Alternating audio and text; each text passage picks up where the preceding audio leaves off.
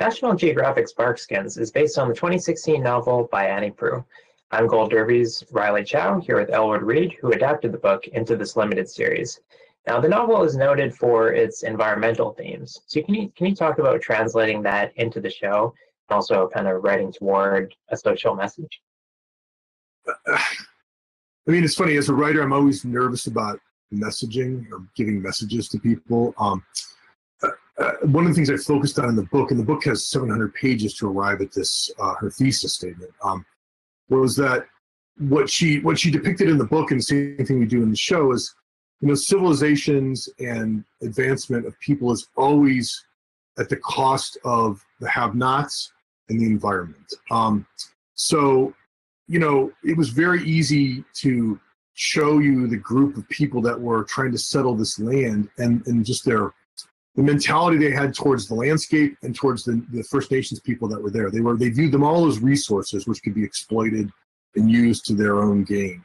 Um, and as a, I guess maybe it comes from my background as a novelist. I'm just a little bit nervous about sort of like putting big flashing things. Like I, I don't think anyone's going to tune in to watch a show about deforestation. I, I would not.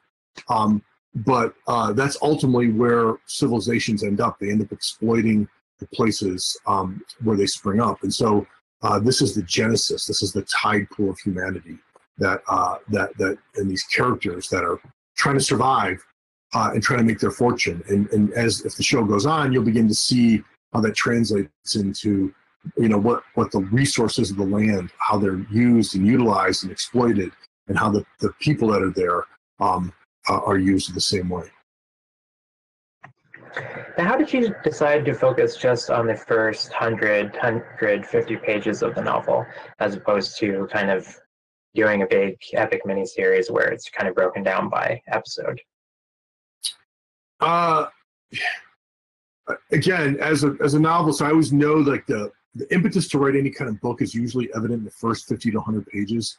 That's where you're it's not it's not that's where you're really laying down the themes that are going to sort of propel you through the, the rest of the book. And so and that's particularly true of annie's book. When you read it there's these just captivating characters and a lot of the original sin that then echoes throughout the uh, century you know through the centuries and decades in her book is all played out in the first 100 pages. And i had to add some characters and some story elements to sort of make it move along for television but the character of Trepagny and Melisande and Duquet and Sel um, particularly the character of Trepagny, is played by David Thewlis, jumped off to me as like I've not seen this character on television. So it was an easy decision for me. And you know, I toyed with the idea of jumping around, like each season could jump 100 years or 50 years and, and tell a different part of the story with the relatives or the you know the, the descendants of these people.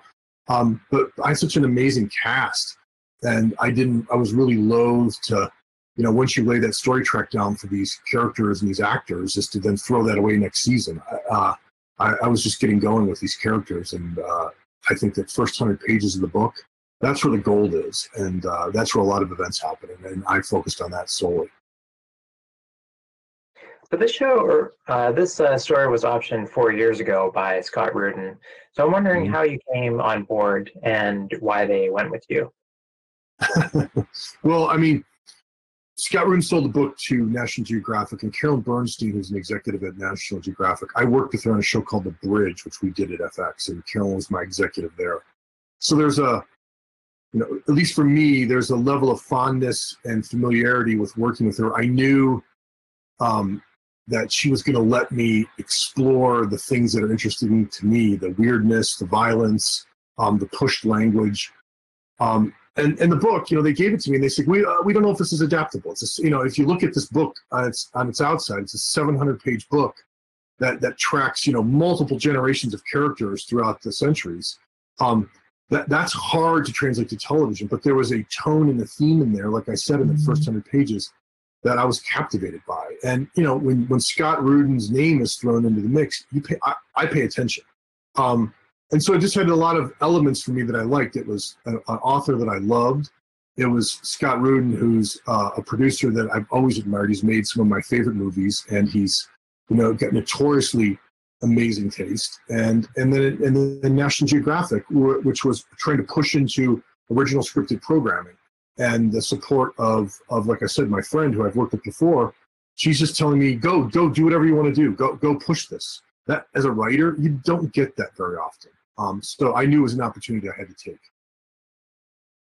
I talked to David Thewlis last week, and he said that uh, his character's religion was actually a part of the novel that ended up being cut, but you were able to bring into the show once you had talked to Annie Proulx. So I'm wondering if there are any other examples like that of kind of scrap storylines that you're able to bring back in here with the broader focus. No, it was interesting because like when you adapt someone's book, and, like I've had my books adapted, I've adapted other people's stuff. You you know the engagement with the author sometimes the author like doesn't want you to change a word or they you know they're they're they, they have all these rules on what you can and cannot do. Annie was very hands off I, I pursued her. I wanted to talk to her. And you know she was she wasn't the most forthcoming person when it came to the book. And i understand that because when you write a book said what you had to say and you've moved on to the next thing and she's probably sick of that book after spending five years writing it or whatever it was so but I, I, was captivated by this character of Trepagny, and I couldn't understand what he was doing there. He had all these mysteries surrounding him. And so she confessed to me one time over a phone call and email, I can't remember which one, that Trepagny was a Cathar, and she had all this stuff about him being a Cathar and a dualist, which was a uh, offshoot sect of the Catholic Church, which was rooted out in the Inquisitions and exterminated. Um, and, and, and it wasn't, maybe it existed in the book in like a ghost form that was just resident there, but when I heard that, I was like, oh my God, that's awesome. That's a really unique character trait. And so I jumped into Catharism there. Um, and she, you know, she, she told me the reason for it was edited out of the book is the book was already 700 pages long. She had to sweat it down a little bit. And, and so she took that stuff out. But again, I could feel it there. And it was, a, it was for me, it was a hook uh, into the character. Um, but as far as anything else goes, no, I, I just, again, I try to absorb that the, the immensity of her book and the tone of it and go, how can I, when I create new characters and new situations, how can I kind of like circle back to those themes that she had, you know, which is, I, I, and again, I'm, this is not themes that she told me, these are things that I took from the book, the rape of the land, you know, the, the, the, the people that come there to seek their fortunes and how they make those fortunes on the back of the land and on the back of the people, the lesser, the, the have nots. Um, that's there in the book. She never says it in the thesis statement, but it's there. And so um, I always try to circle my stories around those themes. Trepagny is played by David Thewlis, and the show also has Marcia Gay Harden, Zahn McClarnon, uh, Matthew Lillard, but the rest of the cast I was actually not familiar with. So I'm wondering, you know, from watching the dailies and uh, seeing how this cast interacts, uh, who are you really looking forward to seeing kind of break out in the next few years? You know, it's funny. I mean, you get Marcia Gay Harden and David Thewlis. That's a no. But David Thewlis and Marcia Gay are actors I've admired for a long time, and I mean, I never thought I'd get a chance to work with them, and then and to see them bring my writing to life was a you know a fucking honor. Um, but on the other side, there was a couple actors I had been tracking. I was aware of Aneurin, uh, who plays Goames, and uh, I had seen his work, and I thought he was a really interesting actor. That that for me, his slinky weirdness hadn't been utilized in the way that I I, I just saw him, in, you know, in, in some in some movies. He was in in, in um, Dunkirk, of course. Um, but he, he, there was something interesting about him. And so he took the character in a different direction. Thomas Wright, I worked with on The Bridge. He's an actor I, I think is criminally underrated. Nobody knows. Um, I, he's one of my favorite. He's one of the first persons I gave the script to. And he and I have a deep, deep working relationship. And, and I trust him implicitly. I, I said to him, so who do you want to play in here? And he, you know, had this great pitch for playing Cook. And I think he's, you know, super magnetic. And Christian Cooke, um, had read the script and pursued me. Uh, and, when an actor, you know, and I knew Christian's work, I'd seen him in, in, in some things, but when an actor pursues you, not not because he wants payday, but because he likes the character in the world, I knew that he was going to bring something. And that was a really hard role because he doesn't have a lot of dialogue, but he's the center of the show. He's the moral center of the show. Um, and I trusted Christian to go on that journey with me. And James Bloor was an actor that was new to me. Uh, complete discovery. He plays Duquet.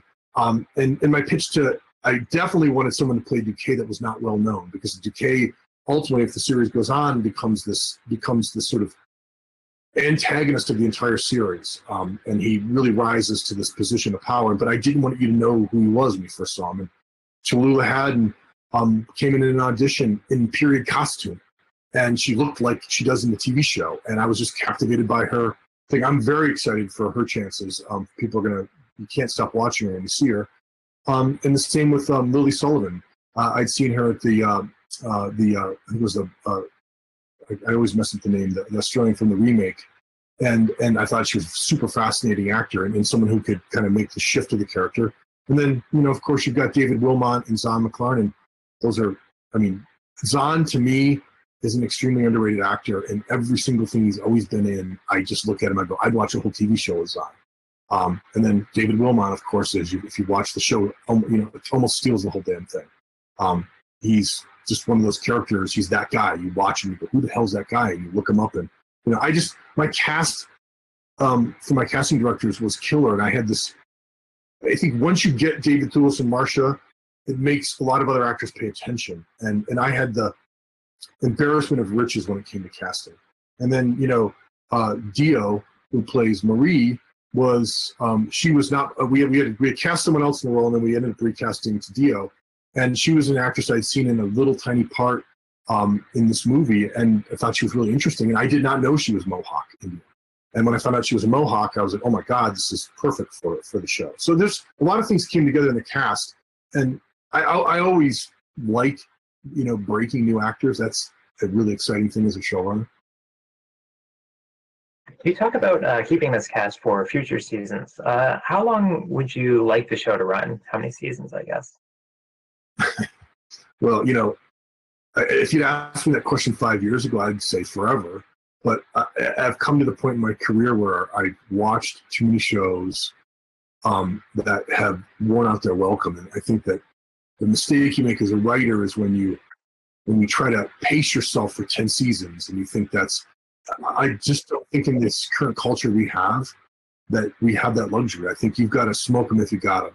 Um, so you know, four to five seasons to me, I could tell this complete story. I, I certainly have the expansion to tell m- a lot of story, but you know, I wanted to keep that immediacy. I, I, I, I get impatient when I watch shows and I go, oh, that episode's just marking time and setting up. And, and you know, uh, I love the television shows like Ozark um, that just burn through plot. I think you can do both really well. Um, and in this cast, they can do anything I ask them to do. And, and, and I think the storylines you know, stories should be finite, you know, in, in the way that a book is. I, I think this idea that they can go on forever, that's not this world. That's not, I'm not doing a cop show or a medical show where they could, you know, be on for 20 seasons. And nothing wrong with that. That's just, that's not the way the show was ever built.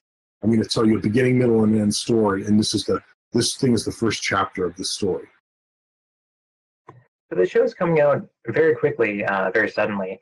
Uh, whereas. I understand the original plan was to have it more in November. So I'm wondering, uh, did that really affect post production, or did you have it kind of already in the can? Well, it was funny because I had, you know, along with my studio partners, we had agreed to an accelerated post schedule, which it's good and it's bad. You uh, you always want to sit with the edits longer, and you know, if you give me time to rewrite or re-edit something, I'll I'll do it until you pry it from my cold hands but I had agreed to a, a more accelerated post schedule for no particular reason, just because I wanted to move on to some other projects I have uh, working on, and knowing that the show was going to debut in the fall, and then I'd worry about it in the fall.